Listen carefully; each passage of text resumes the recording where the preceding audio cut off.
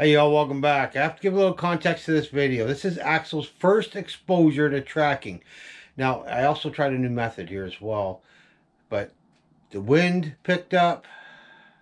He did well, but the wind picked up, changed direction on us. A couple things I could have done a little bit better, but for the most part, he didn't do too bad. Have a look.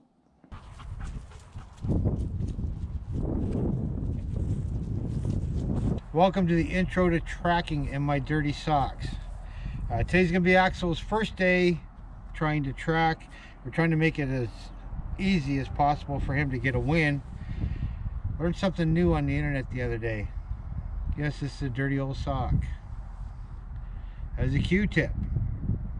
There's multiple Q-tips in this sock. What we're going to do is we're going to be laying three tracks today. They're going to be short and they're going to be straight legs. And it's important that you got the wind at your back we're kind of hiding behind this small building here because it's extremely windy. What we're going to be doing is we're going to be kicking in a scent pad. We're going to lay three tracks. Be, one's going to be about 25 feet and then we're going to get a little bit longer each time after that. On the scent pad we're going to have a few of these Q-tips that have been uh, marinating in my sock for a little while. And on the track we're going to put a couple of these down right to the finish where at the end he's going to get his Kong and a bunch of praise. We're then going to move on to the next track which is going to be a little bit longer now, we're not going to be stopping in between and doing a bunch of commentary in between. Nate's going to be running the camera for me so I can focus on him. I don't want to point him to the scent pad. I want him to find the scent pad on his own. As soon as he finds the scent pad, I'm going to give him a good boy, and then we're going to hopefully start on the track.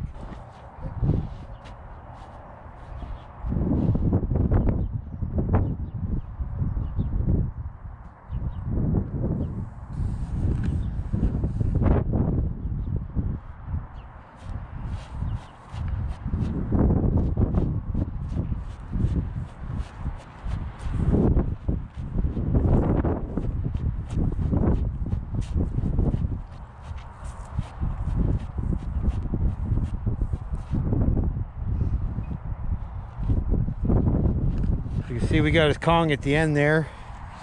If you look here, you can see where I've scuffed the track in. Now I may have a little too much distance in between these Q-tips, but we're about to find out. The idea is to give him the best chance of winning. And you can really see the difference in the ground here where I scuffed it in. So what we're going to do is we are going to walk, and you can see the track there. Hopefully you can see the track. Going to come over here and we're to do it again.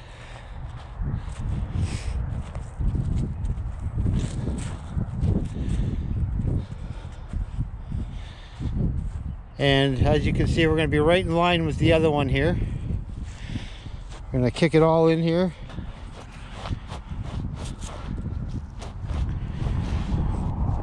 Again, the whole idea is for him to win. So we'll put a couple of those on there like that. And we'll scuff this one here in.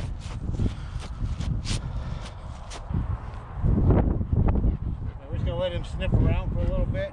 Let him find the scent pad wind just changed directions on us, so we'll see what happens.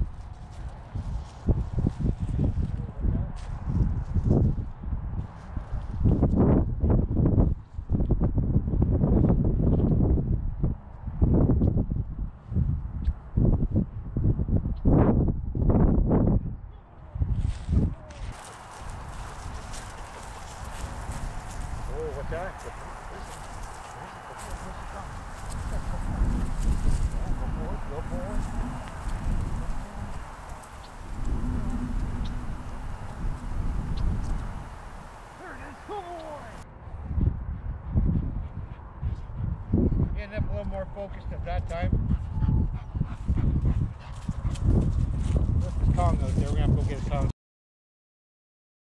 We're a were a little limited today with personnel. Ideally, You want the track laid, start the track. No time delay. I delay the tracks because I wanted them in a specific place, specific direction. Then I had to go get Axel, bring him back. Normally, you want the dog watching the track be laid. Tease the dog with the Kong, leave the Kong, come back, show them the hands are empty, start them. That's how you really want to do it. We didn't have that option today. We did the next best thing.